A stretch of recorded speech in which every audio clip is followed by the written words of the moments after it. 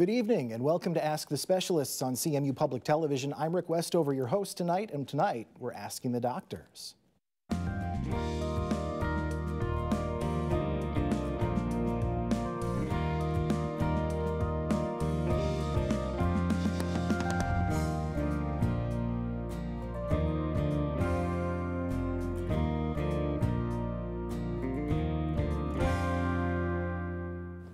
Thanks for joining us for this very first broadcast of 2014. And uh, again, uh, we're asking the doctors joining us uh, from the CMU School of Medicine. Uh, we welcome in Dr. Meredith Goodwin uh, with uh, University Health Services mm -hmm. and also tied again with the medical school here at Central Michigan University. Good, e good evening to you.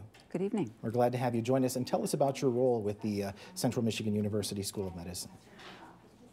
I am the course director for the Essential Clinical Skills course, and what that is, is it teaches the students how to apply what they're learning in the other courses that they're taking to actually touching a patient, making a diagnosis, taking a good history. So this is kind of the the fun part, I think, of course I'm a little a little biased, the fun part of what they do in each organ system course. Okay, and it's it sounds like sort of the bridge between education and the patient in a way. It is in lots of ways. All right, very interesting.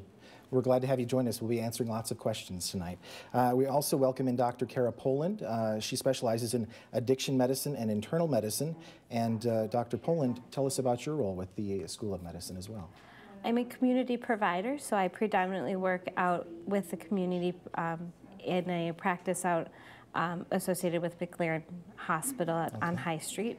Um, and I work with patients that have substance use problems, um, anything from tobacco to alcohol, including prescription drug problems and as well as street drugs. And then I also have a general internal medicine practice where I see, um, where I'm a doctor for adults. All right, very good. Well, we're glad to have you both join us. And I want to remind folks that uh, we don't have a program without you, so please give us a call toll free 800 727 9268. You can also reach out via social media, uh, via Facebook and Twitter to get your questions asked today. Uh, our first question coming from a female uh, in uh, Luther. She notes that she's 92 years of age and is losing weight. She weighs less than 100 pounds now, but all tests seem to come back negative. negative, and she's asking what could be causing the weight loss. She says she feels good, other than she's just not hungry. Dr. Goodwin? Well, as, as patients get older, sometimes this does happen, and a lot of times it has to do with that the food that they eat doesn't taste as good to them, so they're less interested in eating. And as your weight gets below a certain level, sometimes that inhibits the appetite as well.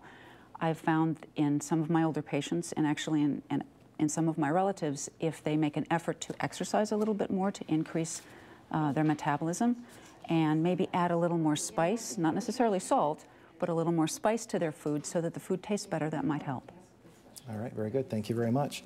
We have a question uh, from a female caller who notes a history of colitis, and she says if there's bleeding from the rectum and then it stops, could this be an indication of colon cancer? They're concerned about a uh, potential diagnosis. Dr. Dr. Poland. Anybody that has a history of colitis should be followed closely by their primary care physician, if not by a, a specialist in the in the colon, which would be a gastroenterologist. Um, when you have colitis, there are certain conditions related that encompass colitis that put you at increased risk for colon cancer. So certainly having regular screening colonoscopies, to, which are at a different rate depending on the disease, um, would be would be part of the treatment. So I would encourage that person to speak to their primary care doctor to make sure that they are in the proper um, and the proper screening protocol for their disease. Okay, very good. And for those maybe not so familiar, could you just give us a brief description of what colitis is? Colitis is an is usually related to an inflammation in the bowel system. Um, there's two main two main types that are Crohn's disease and ulcerative colitis, and, and depending on which one they are, you're at different risk for uh, future colon cancer. All right, thank you very much. Out of Onaway, a caller asking about possible fungal infections and, and if it makes its way into the bloodstream, what kind of consequences does that uh, sort of lead to, Dr. Dr. Goodwin? Well, fungal infections in the bloodstream itself can be very dangerous. Uh, they would certainly want to follow up with their uh, primary care doctor to see what if there's any evidence of that. Um, fungal infections usually tend to be on the surface of the skin or, or um, the surface of the body. So in that particular situation, they're not that dangerous, but if this, the caller is very concerned about something within the body, within the bloodstream, that can be serious and they should follow that up. All right, thanks so much. Dr. Poland, a question out of Claire uh, about a stint in the bladder. Is there um, a problem with leaving it there too long? They know that they've had it there since October 30th due to a kidney stone. And how long um, should that be allowed to be there? I guess they're concerned about the length of time it's taking. As far, as far as I know, and I'm not a urologist, so I'm not a specialist in the bladder, there wouldn't be a need to go in and surgically remove it. Um, if they have one that's been placed externally, like a pessary, to hold the bladder up, then those are usually removed on a, on a scheduled basis of about three to six months. Okay, thank you very much. Uh, Dr. Goodwin, while we wait for some more questions to come through, and again at 800 727 9268, you can ask yours, and we'd love to have you join us today. Uh, Dr. Goodwin, tell me about, um, you know, a lot of people suffering with um, the common cold, but then maybe it's the flu, but we're not, I'm not sure, and I've been kind of coughing and being achy for a while. When do you actually take the step and go, okay, I need to go see the doctor? When, when do we take that step? Well, I do have a practice at University Health Services, so it's uh, highly variable as to when the students come in to see us. But I would say certainly if someone has a high fever, and by high fever I would say a temperature over 101 and a half, I would definitely come in, encourage them to come in. If they are coughing up or getting uh, colored phlegm out of their mucus, out of their nose or out of their chest, I would want to see them just because I would want to make sure that there wasn't something serious going on. If a person has not had a flu shot and might be at risk for influenza, they usually, and if they test positive, they usually need to start treatment within 48 hours of the symptoms starting. So if the person is concerned about that and really thinks that they might have flu, they need to come in quickly. Okay, thank you very much. Uh, Dr. Poland, uh, a question out of Gaylord. What does a doctor do for a leaky valve in the heart and AFib? The combination can be treated in multiple ways. Um, at that point, for most of my patients, I would be referring them to a cardiologist to manage that. Um, one of the most important things is to make sure that the blood pressure is kept relatively low. With AFib, what that is is an irregular heartbeat. There's four chambers in the heart.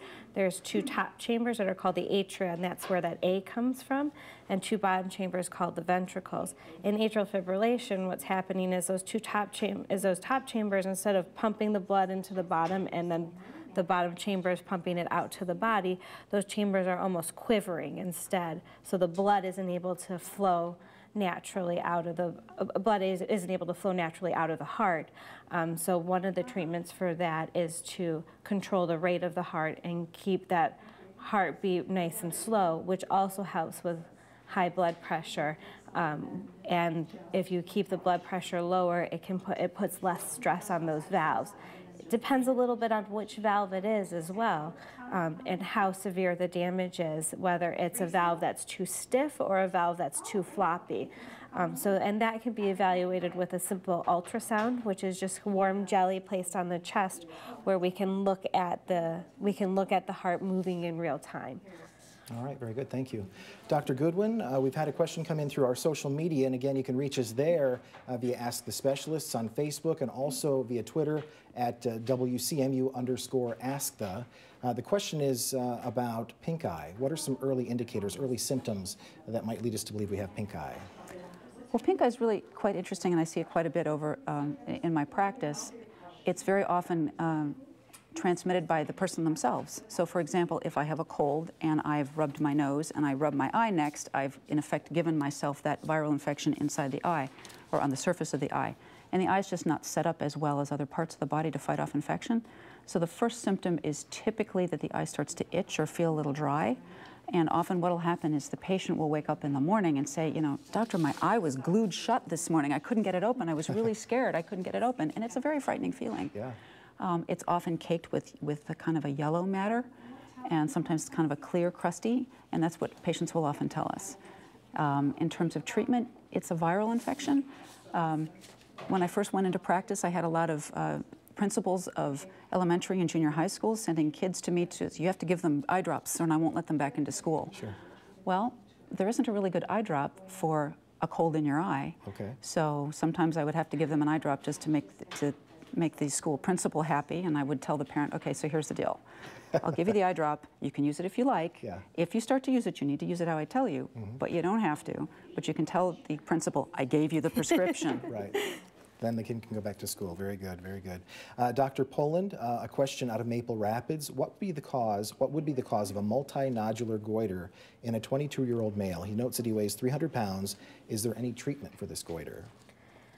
It depends on the functioning level of the goiter. If it's a non if it's a non-functioning goiter, if it's not causing a mass effect, and what I mean by that is the a goiter is is a, a mass in the thyroid gland, which is located in your neck.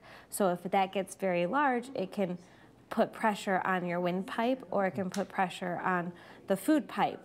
So you can get so you can have some symptoms from that. If it's non-functioning and not causing a problem, then you may, you may not need any treatment. So what would likely need to be done in that case would be either radio imaging to look at that goiter, um, an, an aspiration where they put a little needle in to take some cells out of that goiter, um, as, and, and in conjunction with some lab work to look at what the thyroid is, how the thyroid is functioning, what is it doing.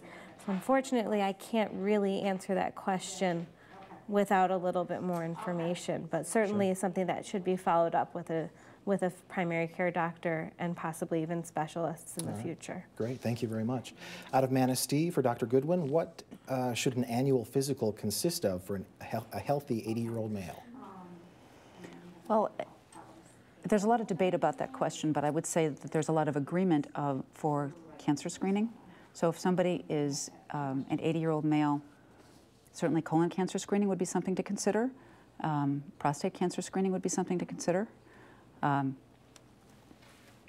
a lot of it would depend on if the person was taking medications, if I would want to check lab values to make sure that the medications aren't causing problems. Because as people get older, their body doesn't clear medication as quickly or as well as it used to. So, what a normal level of a medication for me might be would be potentially quite a bit too high in somebody who's elderly. So, it would depend on what the patient has and immunizations, flu shot, I would definitely recommend that, a pneumonia vaccine. Okay.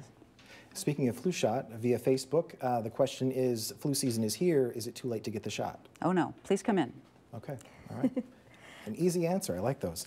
Uh, for Dr. Poland, uh, this uh, caller out of uh, Traverse City has varicose veins. One leg has more than the other, and they're very visible. How serious is this? They say that there's no pain. They happen to be 62 years of age, and they do ask, can it explode? I guess they're worried, can they, can they burst as they, as they bulge?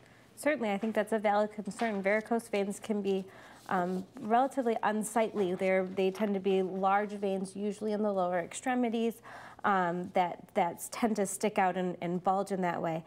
Um, they're veins, so they're part of the low pressure system of the body, so I don't think they're at risk of um, exploding in, an, in any way, shape, or form. If they're not painful and not causing a problem, they don't have to be treated. However, if somebody feels that they're unsightly or bothersome for another reason, I would certainly at least encourage them to be evaluated for either um, what they call vein stripping, where they where the surgeon goes in and and, and removes those varicose veins, um, or some other ther- or some other therapy. Sometimes they can do a sclerosing agent where they do injections. But it sounds like for this patient, since they sound like they're in a larger quantity, they would probably need to go the surgical route. Um, so that could be evaluated by a vascular surgeon. Okay, thanks much. Uh, Dr. Goodwin, out of Detroit, a question about a diagnosis for lupus. Uh, there's some external um, bald patches. This is a female uh, caller, by the way. Some external bald patches as a result of the lupus. Should she continue to take injections from the dermatologist? One, um, can you talk about that tie between uh, bald patches and lupus? I wasn't familiar with the connection. And then curious, that they're curious about the uh, need for injections from the dermatologist. I'm presuming that the injections are for the hair loss? I'm, I'm assuming it does not say specifically. Okay. There are a lot of different um, causes of alopecia, uh, and it sounds like with lupus, the, it's probably an autoimmune phenomenon. And I, not knowing what the injection is, I can't answer specifically, um, but I don't think there's any danger in doing so, and it may be very helpful. If you wanted to answer that. Um, sure, I can, I can perhaps help with that. So, lupus is an autoimmune disorder. I actually have a, a form of alopecia, which is the generic term for hair loss. Um, that mine is not related to lupus, but the first line, one of the first line therapies is steroid injection into the into the lesions. Um, as long as you're not having signs of skin thinning, which would be um, more prominent vasculature, um, and your dermatologist would be able to evaluate that, then there really isn't too much risk of you of using the local steroid injection. However, it can get systemic, so you can have effects of, of systemic steroids, which can be weight gain, water weight, some lethargy, change if you have diabetes, there can be, and even if you don't have diabetes, there can be some sugar problems with your body's ability to metabolize sugar. So systemic steroids can be, are a pretty high risk medication. So I think sticking with a local treatment for now is certainly, certainly sounds appropriate. However, if the lupus were to flare up in other ways, because lupus can affect all different parts of the body, the patient would certainly need to bring that up to their dermatologist at least or, or primary care physician to make sure that those systemic effects were also being treated. Sure, very good.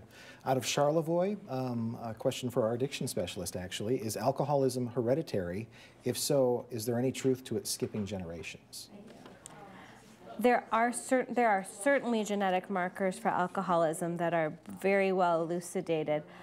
However, just because somebody has a genetic marker does not necessarily mean they will become an alcoholic. It means that they are more likely to. So in the correct environment, under, under the correct psychosocial stressors, with the availability of, um, of a substance, they are more at risk of, fall, of having trouble with substances well, we say that alcoholism runs in families, it's not necessarily just alcohol. They're also at risk of all different drug um, habits, um, from caffeine to tobacco to alcohol to straight drugs to prescription drugs. I would caution that person to be more careful. In terms of it skipping generations, um, that does not tend to happen from a genetic standpoint with the type of gene that this is. Um, however, there is some evidence that it almost skips generations because of the social impact. So somebody who was a child of a parent who had a substance use problem may be more cautious about not using and not exposing themselves to that vulnerability. Mm-hmm. But then their children may not have seen that as much, so they um, aren't as protective of their of themselves. So it's not that it's a genetic reason that it skips, it's more the psychosocial aspects Correct. of having experienced it as a child maybe and then again the next generation not. Very interesting. That's yes. okay. All right. Appreciate that. Out of Clarkston, a caller who is 58 years of age, recently diagnosed with Crohn's disease. They're asking if there's any treatment other than prescription medication. Is there a holistic treatment for Crohn's? Dr. Goodwin. Holistic treatments of Crohn's. I know that there are uh, different diets that uh, a lot of pa uh, patients have tried that they have some um, help with.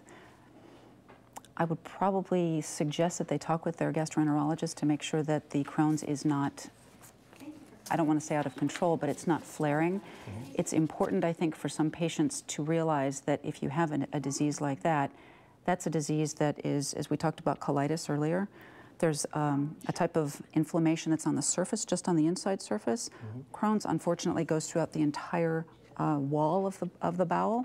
So it has more chance of causing problems, potentially opening uh, into the inside of the abdomen itself. And that can cause problems. So Crohn's is really important uh, to control. Okay. So I think that medication's probably one of the main things about that. But I think I do think that there are some uh, diets that would help. All right. And interestingly enough, popping up uh, via our Facebook page, are there holistic methods for treating cancers that you're familiar with? That's a very broad question, I have to assume, but I mean, if there's, if there's any little nugget you might have to share for that person.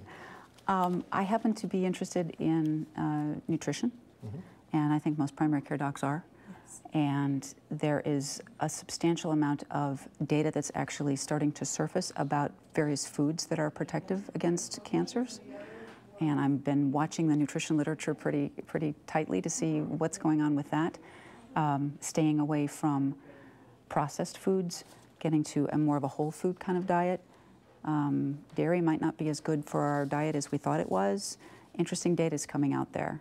So I would encourage that person to talk with their doctor, and, and hopefully that person, their doctor will be open to talking about nutrition. All right, thank you But I much. think it's also just important to point out that I, I don't want people to think that treating, that you can treat a cancer solely with diet. I, I think that we need to be using our, our chemotherapies, radiation, and surgery, surgical treatments in conjunction with um, healthy lifestyle. Sure. That I think Dr. Goodwin pointedly said that it was um, a way to help prevent cancer, not necessarily to treat it. So I, I wouldn't want somebody to take that information and think that we can cure cancer with a diet. I, I don't know of any way to do that.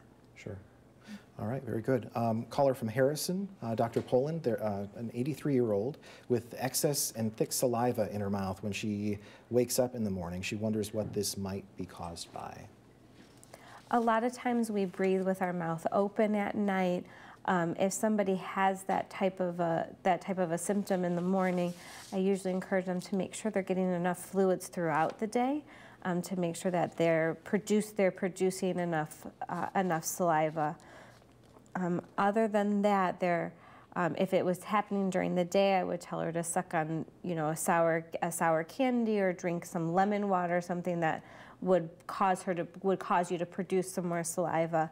Um, but as far as as far as I know, there's not there's not really a great medication to make you produce more saliva. There are some saliva substitutes, but those I wouldn't recommend in somebody like this.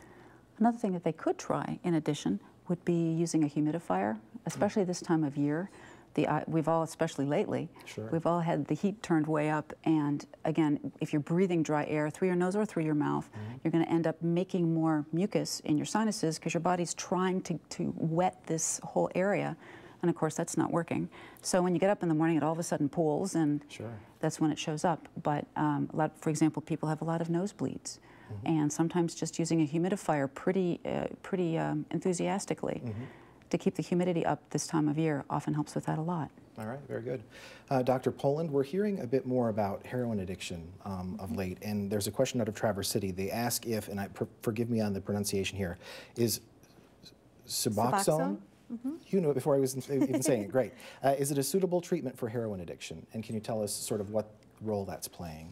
So Suboxone is one of our medication-assisted therapies for folks that have um, addictions to opiates, including heroin, and opiates also include medication. Opiates also include some of the medication um, ones like Vicodin or um, Norco um, or fentanyl. Those are all in the same class of medications, uh, uh, same class of drugs um, with the same chemical, similar chemical structure to heroin. So people that have problems with any of those can also be treated by Suboxone. The, the Suboxone acts on the brain. It blocks um, the receptor that the heroin goes into, making it harder for the person to feel, uh, to get high from the heroin. The Suboxone formulary also contains a medication called naloxone um, that is a reversal agent. So if somebody were to take heroin, it makes it even hard. It makes it so that they, it makes it so that it's almost impossible for them to get high off of it. The biggest limitation to Suboxone um, is that it's it's predominantly meant for people who are able to take it home and able to take the medication um, independently. So, in somebody who has a significant heroin um, problem and maybe isn't ready for that type of uh, treatment, they may they may not be the best candidate to take it because you do get that freedom to be at home. However, at this and the flip side of that is somebody who wants to be able to work and is able to and is it, it enables people to not be so reliant on coming into the office to receive their medication in, in the way that um, methadone which acts similarly but differently um, requires the person to come in predominantly um, so it, it's a it's a newer medication um, that allows us a little bit more flexibility with patients who are able to um, are who- are in recovery and able to um, work and live in the community. All right, very good.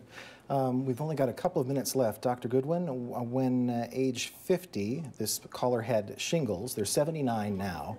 Should he get the shingles shot, and can you get shingles a second time? You can get shingles a second time. Um, it's not very common, I don't think. Um, I don't know. Would you suggest that they would get a the vaccine again? They have, n- Or, sorry, I don't have think that they had the had it. vaccine. I don't believe So- they've had it. It, well, it's not common to get again. Most people who have had shingles will tell you it's not a pleasurable No. experience, um, and it's quite painful. Once you've had chicken pox, um, which the virus continues to live in your body for the rest of your life, and if it reactivates, that's when you get shing. That's when you have shingles. Um, so somebody who's had it once certainly could get it again. My my recommendation would be that that person does get the vaccine Okay. um, to pre, to prevent to prevent it. I think the risk from the vaccine is much lower than the um, negative effects of the disease. Okay, very good. Just in about a minute's time, Dr. Goodwin, in taking on uh, statin drugs, is there evidence that they could cause Alzheimer's? Is there a link between statins and Alzheimer's that you're familiar with? Not that I'm familiar with. Um, no, I don't think I have. You heard of one? No, not my not myself either. Um, how about what is the treatment for a moderate grade distal fiber tear in the knee? And we have about a minute. A moderate grade. My goodness. Um, Not exactly your 60 second question, maybe. Besides sending them to an orthopedist, um, I, w- I would. It would probably need an. Uh, it would depend on how bad the tear is. I would think. So it would need to be evaluated first. Need All to be evaluated by an orthopedic surgeon, I would imagine. An All right, MRI very probably. good.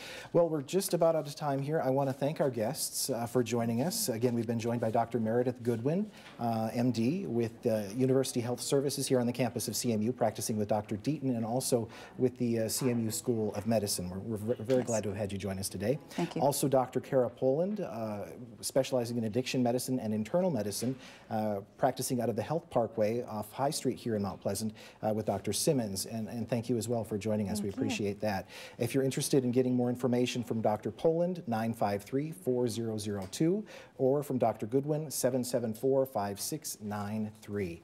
I'm Rick Westover. I want to thank our crew. I want to thank all our folks answering the phones for us, and again, our guests for helping us out. Without you, we didn't have a show, so thank you for joining us for Ask the Specialists here on CMU Public Television. Thanks so much.